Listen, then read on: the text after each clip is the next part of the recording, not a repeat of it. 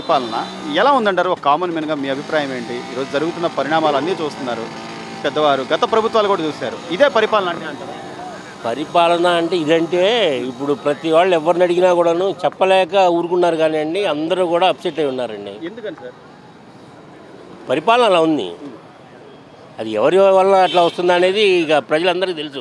ఎవరు ఓపెన్ అవ్వట్లా? ఎందుకు లేనిపోయిన గొడవలు ఎందుకులే? మాకెందుకులే? ఎవరు కాళ్ళు అందరం బతుకుతున్నాం కదా.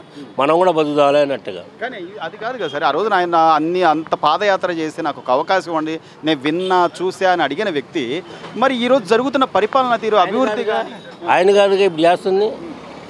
ఆయన కాదు పాదయాత్ర చేసిన ఆయన కాదు చేస్తుంది. ఆయన చనిపోయిన చేసిన పాదయాత్ర చేసిన ఆయన చేస్తున్నాడు ఇప్పుడు. అసలు ఆయన పాదయాత్ర చేశాడు ఆయన పాలించాడు ఆయన బాగానే ఉంది. మరి ఈయన వచ్చిన తర్వాతే కదా పరిస్థితులన్నీ కూడాను. ఎవరన్నా సాటిస్ఫాక్షన్గా ఉన్నారని ఒక్కడ చెప్పమానండి ప్రపంచం మొత్తంలో. ఇక్కడ మన ఆంధ్రాలో ఎక్కడైనా సరే. ఎవరు ఏం మాట్లాడటం లేదు. ఎవరి కాళ్ళు ఎందుకంటే కదిలిస్తే కంపు లేనిపోని గొడవలు అని చెప్పి మెలకుండా ఉంటున్నారు. కానీ మరి ప్రజలు ఓట్లేసి ఆ రోజున నాకు ఒక్క అవకాశం ఇవ్వండి అంటే నూట యాభై ఒక్క సీట్లు గెలిపించి ఎంపీలను గెలిపించి ఏదో అభివృద్ధి జరుగుతుందనే కదా సార్ మనం ఆశ- ఎలా గెలిచారా అనేది అందరికీ తెలుసు అండి వాళ్ళకి తెలుసు మనం ఎలా గెలిచాము అనేది. ఏంటి? ఎలా గెలిచామన్నది వాళ్ళకి తెలుసు. మరి ఏ ప్రకారంగా గెలిచారని ప్రజలకి తెలుసు. ఎవరు మీరు ఓటేశారు చెప్పండి ఆయనకి. నేను ఓటేసాను చెప్పండి. ఆయన ఓటేసాడు చెప్పండి. ఆ పక్కన ఆయన ఓటేశాడని చెప్పానండి నేను వేయలేదంటూనే ఉన్నారు మరి వాళ్ళు ఎట్లా గెలిచారు? అంటే మరి ఈరోజు ఇసుక ధరల దగ్గర నుంచి ప్రతిదీ ప్రతి అంశం పెంచుకుంటూ పోతుంటే కామన్ మ్యాన్ ఎలా సార్ మరి? అదే కదా సార్ ఇప్పుడు అందరు చెప్పేది అదే. ఇప్పుడు ఎవరు చెప్పాలన్నా కూడా భయపడుతున్నారు. ఇప్పుడు ఈ మాట చెప్పాలన్నా ఎవరు చెప్పరు. ఇప్పుడు మీరు ఆయన నా ముందు వాళ్ళని అడిగారు. ఎందుకు చెప్పలేదు? ఎందుకు నాకెందుకు లేని పని గొడవలు? నేను ఎప్పుడూ వస్తుంటాను పోతుంటాను కదా అని. మీరు అడిగారు కాబట్టి ఓపెన్గా చెప్తున్నాను. అంటే సార్ నేను అనేది ఏంటంటే ఈ రోజున నవరత్నాల పేరుతో ఇప్పుడు నవరత్నాలు అభివృద్ధి చేసి ఆ అభివృద్ధి ఫలాలను పంచడంలో తప్పులేదు కానీ ఉన్న ఆస్తులు భూములు తాకట్లు పెట్టి నేను నవరత్నాలు ఇస్తానంటే రేపు పొద్దున అది మన మీద మన పిల్లల మీద భవిష్యత్తు మీద తప్పకుండా పడుతుందండి హండ్రెడ్ పర్సెంట్. అందరికీ తెలుసు అది. తీసుకునే వాళ్ళకి కూడా తెలుసు. కానీ ఇస్తున్నాడు తీసుకుందామని తీసుకున్నారు తప్పితే ఆ భారం అందరి మీద పడుతుందని తెలుసు. మరి ఈ రోజున ఎయిడెడ్ పాఠశాలలు ఆపేస్తాం అంటున్నారు. ఒక విద్య వైద్యం ఉండాల్సిన పరిస్థితుల్లో ఎయిడెడ్ పాఠశాలలు అవి ఎంత క్రమశిక్షణగా జరుగుతాయి? పిల్లలు రోడ్ల మీదకి వచ్చే పరిస్థితి కూడా ఎలా చూడాలి సార్? ఏ ఇప్పుడు ఏదైనా కానీ అనుభవిస్తే కానీ తెలియదు అన్నట్టు ఇగో ఇప్పుడు వాళ్ళు ఏమంటారు వాళ్ళు వాళ్ళు అడిగినప్పుడు సరే బాగుంటుందని అంటారు. ఎదురుకు వచ్చిన తర్వాత బాధపడతారు అంతే. ఏం చెప్పలేకపోతున్నారు ఎవరు? ఎదురు చెప్పలేకపోతున్నారు. ఏదైనా చెప్దానో ధైర్యం చేయట్లేదు. సో మరి ప్రజలు మాట్లాడక ఈ ప్రతిపక్షంలో ఉన్న నాయకులు మాట్లాడితే వాళ్ళ మీద వెళ్ళి దాడులు చేసే నాయకులు మాట్లాడుతున్నారు కదా సార్ ప్రతిపక్ష నాయకులు మాట్లాడబట్టే కదా ఇప్పుడు వాళ్ళ మీద దాడులు కానీ వాళ్ళ మీద గొడవలు కానీ.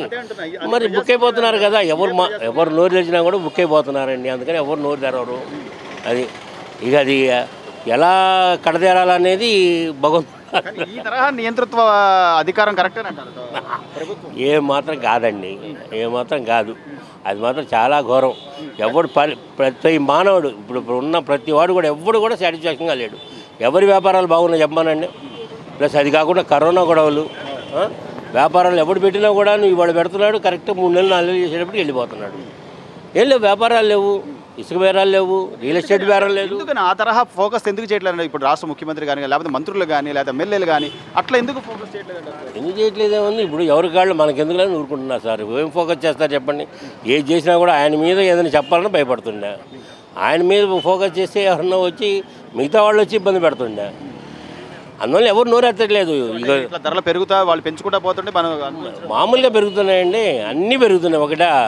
ఇప్పుడు ఈ రోజున పెట్రోల్ తీసుకోండి. పెట్రోల్ ఇప్పుడు సెంట్రల్ అయినా కూడా మనకి స్టేట్లో ఎలా పెరుగుతుంది ఇక్కడ? రోజుకు రూపాయి చొప్పున పెరుగుతుంది. ఎవడన్నా అడుగుతున్నాడా? అదేమన్నంటే దాన్ని ఉపయోగించేదండి సైనికుల కోసం మన కోసమే కదా ఉపయోగపడుతుంది అంటారు కానీ ఎంత భారం అండి? ప్రపంచంలో ఎక్కడ ఉంది అంత రేటు పెట్రోల్? మరి అది పెరిగేటప్పటికి ఆటోమేటిక్గా ఇవన్నీ పెరుగుతాయి అంతే. ట్రాన్స్పోర్టేషన్ పెరుగుతుంది కదా. ట్రాన్స్పోర్టేషన్ పెరిగిందంటే ఈ వస్తువు పది రూపాయలు కూడా ఇరవై రూపాయలు అమ్ముతాడు. కామన్. అందువల్ల ఏంటంటే అందరూ ఇటు సెంట్రల్ గవర్నమెంట్ కానీ స్టేట్ గవర్నమెంట్ కానీ ఎవ్వరు కూడా తృప్తిగా లేరండి. అది. దానికి తోడు ఈ రోజున కుల ప్రస్తావనలు తీసుకొచ్చి లేకపోతే పర్సనల్గా మాట్లాడుకుంటూ కుటుంబ సభ్యులను కూడా రాజకీయాల్లోకి లాగడం ఎంతవరకు న్యాయం అంటారు? అది కరెక్ట్ కాదు. అంత దూరం వెళ్ళడం బాగోదు.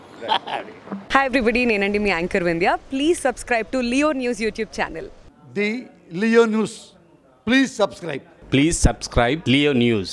Please subscribe Leo news thank you ఇలాంటి ఇంట్రెస్టింగ్ వీడియోస్ కోసం తప్పకుండా మా ఛానల్ని సబ్స్క్రైబ్ చేయండి.